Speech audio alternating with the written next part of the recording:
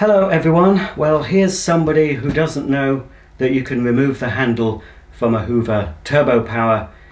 This is the box that has just arrived.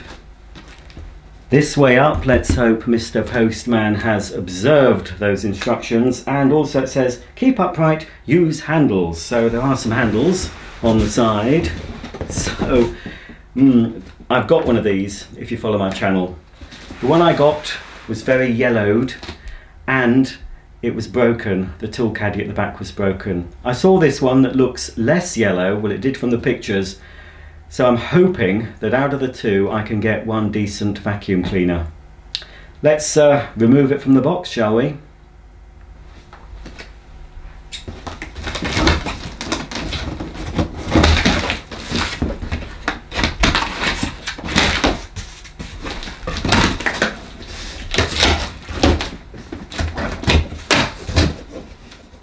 Well, there's a multitude of boxes inside here. First of all, we've got uh, a lovely banana box.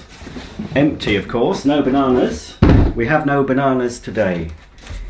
But we do have a beautiful Corning ware casserole dish, ideal for microwave. I mean, that packaging looks pretty 80s, doesn't it? Does that, does that look a bit 80s to you? Surely they don't make this anymore, this particular design. Well, it goes with the vacuum because, well, no, I think the vacuum is 90s, to be honest. Or late 80s. Ah, yes, it is. It's, it's yellower than it looked. We've also got this lovely portable laptop cushion. What a load of bonuses I'm getting with this Hoover Turbo Power. Sadly, it's empty. Well, we're almost there. Hang on, folks. Let me tilt the box. Got some Titan Claw Plus tablets, whatever they are. And finally, with no protection whatsoever for the underside of the machine, fingers crossed the wheels have remained intact. I think the wheels are okay on the other version I unboxed, so it's not too tragic if these have smashed, but I'm hoping they're okay. Ah. Out it comes! Oof. Oh, it does look a bit whiter than the other one I got. Okay, let's get rid of this bubble wrap and have a closer look at this Hoover Turbo Power Total System. I'm filming on location at the moment, so I don't have all my cleaning and polishing paraphernalia with me, so I've had to make do with a quick wipe down with a surface wipe and a polish with some lemon pledge. So it's come up very well. Obviously this needs a full strip down and clean, but all in all, I think this is in very good condition. Now, if you've followed my channel for a while, you'll have seen a lot of turbo powers, so I'll try and keep this as brief as I can and just show you the basic features of this machine. First of all, we have, of course, the headlamp, which I'd be very surprised when I switch this machine on if that's working, but I do have spare bulbs at home, so that's no problem. Here we have the height right control. It's best to tilt the machine back when operating this. So we've got the lowest setting for carpet tiles and very short pile carpeting. The next setting up is for low pile and I think this is the setting Hoover suggests for hard floors. Then we've got medium pile, long pile and then finally the tool setting. That's a bit stiff, hang on, there we go.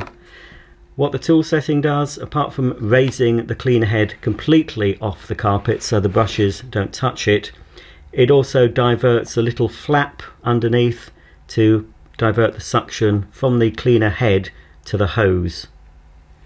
This is the activator brush roll that looks in pretty good condition. The brushes still have plenty of life left in them. It's grubby of course, but that will soon clean up. But it moves very smoothly, it's not seized, so that's a good sign. It will need a new belt I suspect, as well as a new headlight bulb and of course a new dust bag. Both wheels seem to have survived the journey and the lower cord hook seems intact but uh, we'll just remove the cord. I'll turn down the top hook.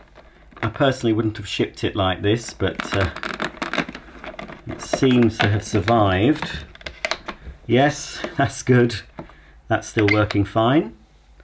It is missing the crevice tool, but the one I showed you on my channel a while ago did have it, but I think that one was missing the all-purpose nozzle, so at least I can have a full toolkit. So we've got all-purpose nozzle in nice condition. The uh, litter picker is still intact. The dusting brush is a little bit distorted, but a soak in hot water will hopefully reinvigorate those brushes and make them stand out where they should. But yes, this tool caddy was smashed on the other one, but it seems fine. So we can pop that back in the correct position. And the uh, all-purpose nozzle, very hard to put in on these, but they don't fall off. The hose is located on the side and it seems to be in good condition. It's a stretchy hose. Stretchy hose the support stocking with a built-in wolf whistle. One for you Victoria Wood fans there. That'll have gone right over the heads of my American viewers, I think.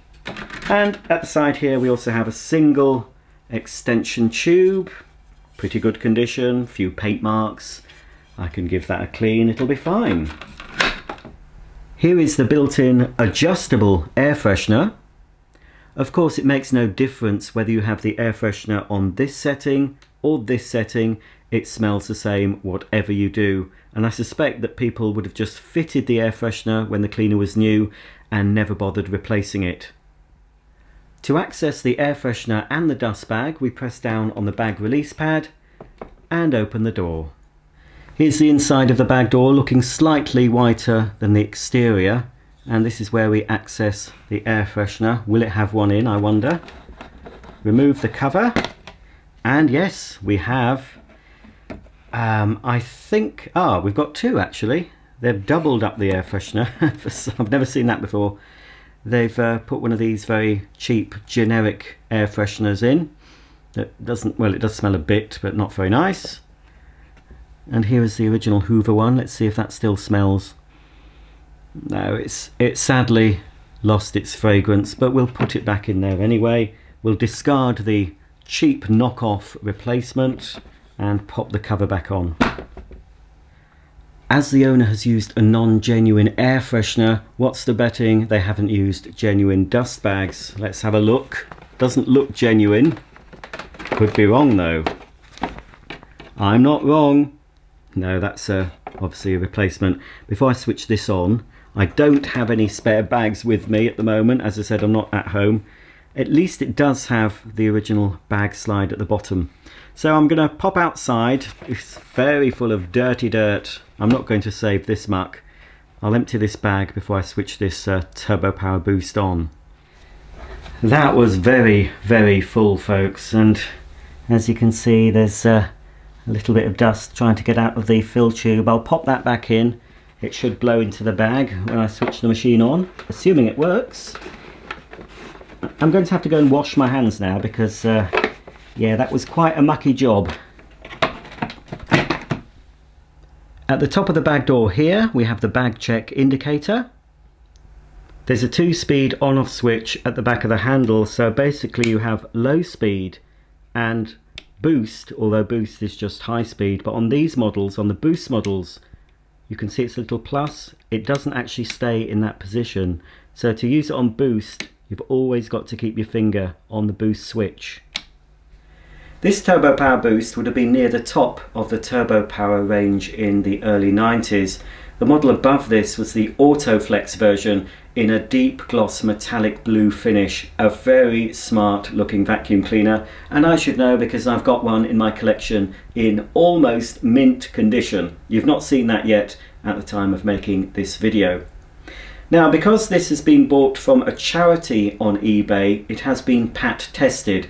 So unlike most of my vacuum cleaner switch-ons where I have to hide in the corner while I flick the switch, I'm fairly confident that this one's not going to blow up when I turn it on. Fingers crossed. Okay, we'll start off on the low power setting and then I'll switch to boost.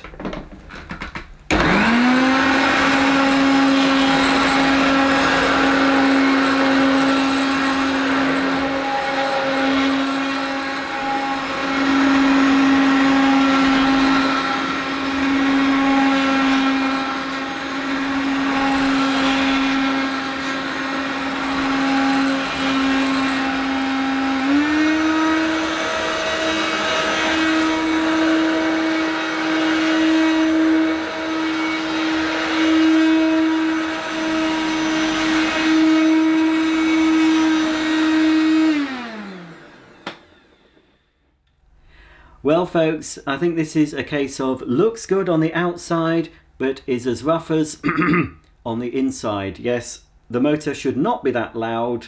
I'm sorry if you've been listening to this with headphones on. I hope I haven't permanently damaged your hearing. This cleaner has to be taken apart anyway to find out why the handle won't recline to the lowest position but clearly that motor needs a little bit of TLC to get it running smoother and quieter. Well that's about the end of my video today. If you've any comments or questions about the Hoover Turbo Power Boost please comment below. Don't forget to thumb up if you like the video and if you don't subscribe please subscribe and click the bell icon and then you'll be notified of all my new uploads. I don't only do older cleaners, I do modern vacuum cleaners as well, and the odd home laundry appliance thrown in for good measure. So until the next time from me and this Hoover Turbo Power, it's goodbye and thanks for watching.